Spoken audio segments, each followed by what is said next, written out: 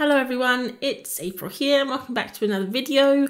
We haven't had a video for a couple of weeks. I am sorry about that, I got really busy, but I hope that you enjoy today's little video. It's a little walk art combo, so there's going to be a little bit of a mix.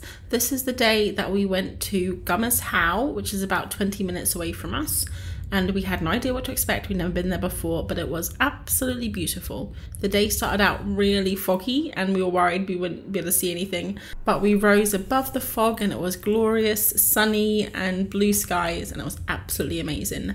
We saw this view on the way down and we didn't realize it was actually opposite the car park, but we stopped and took some photos because it was just amazing the way the land was coming up through the fog. Martin was having a great time.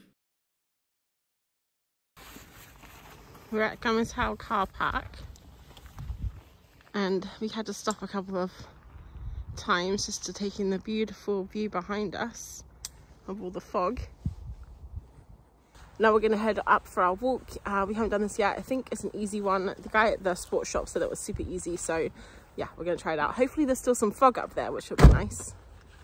I actually filmed this footage for a blog that Martin and I want to do. We've made the website and everything, but we haven't actually started it yet. So this was going to be a little bit of a blog like of the walk and kind of show people where to go and stuff. Turns out we went the completely wrong way, so we didn't actually end up making this into a into a blog post. And I thought it might be a nice little art video instead. It's very sunny up here. So we got to the top of the mountain, hill, mound, and it looks like we are on the wrong the wrong mountain. So I think we should be over there we are the blue dot and we were meant to be the red dot so we walked in the completely wrong direction but I did see this lovely view while we were up there I mean it was really beautiful on that side of the hill anyway so I took the first photo which was like the trees and the mist and everything coming up and decided to paint that one. So basically, what I did when I looked at all the photos of this trip is I could not decide because I had quite a lot of photos that I really liked. So I thought it might be nice to do a series of them in the sketchbook. So I did them all portrait. Uh, the only problem is they're quite small. So they're like mini, basically like a mini little diary of the day. So I'm using the Himi Jelly Gouache as the base, which I was going to do a video about these when I first got them, but then I started using them and I've literally been using them for like two months now. So I probably won't do a video on them, but you will see them pop up every now and then. I'm really enjoying the Himi Jelly Gouache. I didn't think I would because I thought they were just like a trend because they were super popular and everyone was using them. But um, I actually was pleasantly surprised by them. They're really fun to work with and mix and I've been having a lot of fun using them. So I was using the jelly gouache and I just basically what I did is I went through all of them in a row and I did all the paint first and then I did all the pencil first and then I did all the Neocolor. But uh, the way that I've edited this video is I split it up a little bit. So you're just going to see the first picture and then the second and the third. But you may get some spoilers along the way. Whoops. Um, I probably should have thought about that while I was drawing. So what I was trying to say earlier is that the images are quite small on the page. I'm going to have a big gap underneath them and I might fill those up with mini drawings. Like I might go back and complete the sketchbook spread. If I do, I'll probably pop it on Instagram because I think this one might turn into a nice little spread if I can complete it. So this first image was on the wrong side of the hill. I wanted to include that because it was quite a big part of our walk, like the first 20 minutes.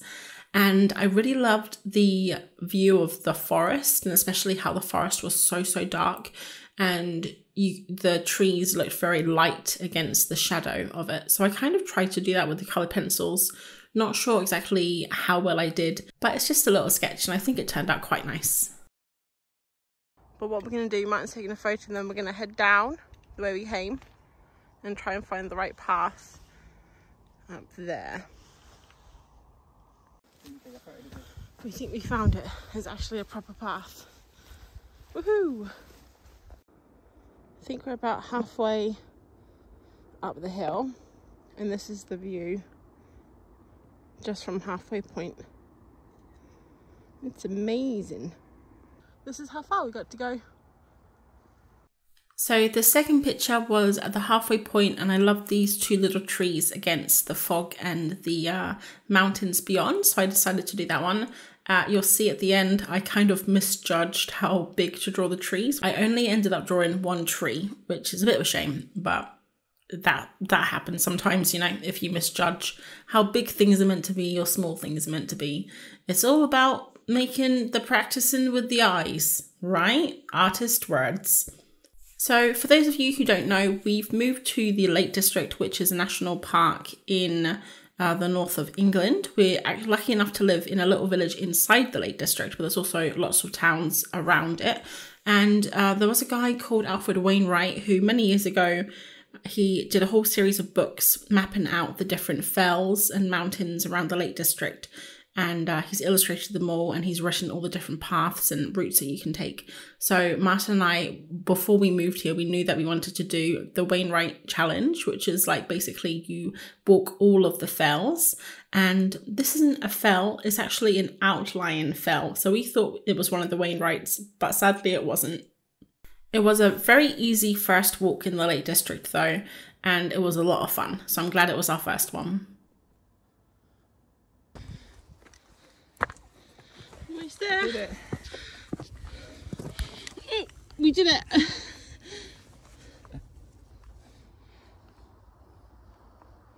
Not too shabby. So we made it to Gummer's How. That was our first fell. How do you how do you feel about it, Martin? Yeah, it was, it was good. So this is the third image that I took from the top, looking over at the fog. And the fog below is actually Lake Windermere, which was completely hidden. I do want to go back when it's clearer, maybe when it's a little bit warmer. Um, one of the things I'd really love to do while we're in the Lake District is to do a series of videos, but also outings for myself where I kind of take myself on little trips. Because while I do really enjoy going for walks with Martin, um, sometimes it's nice just to be alone, not having to worry about taking up someone's time or you know, if they want to move on, um, things like that. So I think it might be nice to do a few little artist dates with myself. And this would be a good one because it's only about 20 minutes from the house, quite an easy little drive. And if you get there early enough, there will be car parking. We got there at about eight o'clock in the morning. And by the time we had got back to the car at about 11.30, it was jam packed and the all the road was completely filled up with cars as well. So yeah, get there early if you want to do it.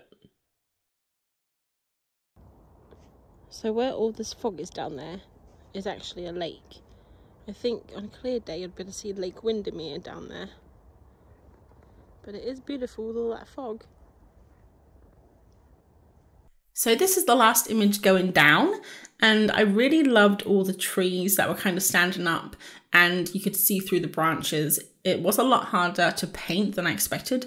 I do really want to improve my trees. I think I've gotten better at them. I think I need to do more observational drawings though to kind of get like them looking right because doing the leaves on this was a little bit difficult. You'll see in the end I kind of just scribble lines on and hope for the best, which is pretty much how I work. If you've been watching my videos for a while, you will hear, have heard me say that I try things and hope for the best a lot. It's basically my motto for life. But as far as these little paintings go, I really enjoyed doing them. I did them at the weekend uh, in my art studio. It was a nice kind of grey day outside and I was just chilling out with my sketchbook.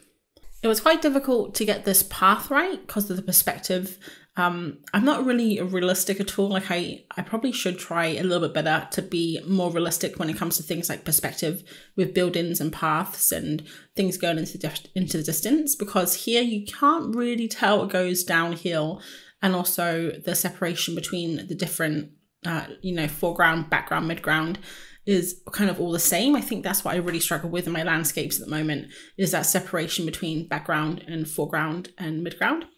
Uh, so that's something I definitely want to work on. But as I mean, I really like this spread. I think it's really colorful. And while the images aren't super realistic and you can't really tell what they are, I think when you see them all together at the end, uh, they kind of are all cohesive. They all uh, match each other, and I think it's just a nice little, nice little colorful doodle page. So as with the other ones, I'm coming in with the details with my Caran d'Ache pencils, which I absolutely love. I love these pencils so much. I'm so happy that I started using them. Uh, and that I, you know, I bought them. They're so much nicer than the polychromos, which I was using for maybe three, three and a half years before I started these. So I do have some other pencils I'm going to try um, in the future, which you might see pop up on the YouTube video. But for now, these guys I mean, they're my faves. So then I come in at the end with the Neo colours just for a little bit of zhuzhing up. And I didn't show these on the other pictures because I didn't want you to have any spoilers. I didn't actually use a lot of the Neo colours. I picked maybe five different colours and then I used them quite sparingly, mainly for the sky or a little bit of lightening here and there. So uh, yeah, that's about it really. And then at the end I pull all the washi tape off, which is the most satisfying part. I don't show that here, so you're just gonna have to imagine it yourself, I guess. So I hope you enjoyed that little trip up Gummer's How and some art kind of shoved in there places. Uh, if you like this video and want to see more, let me know because we're planning on doing lots more walks and I would love to do uh, videos like this in the future, maybe a little bit more planned out with the art. I think that might be nice. So that is all for me today. Have a lovely rest of your week and I will catch you in the next video. Thanks for watching. Bye.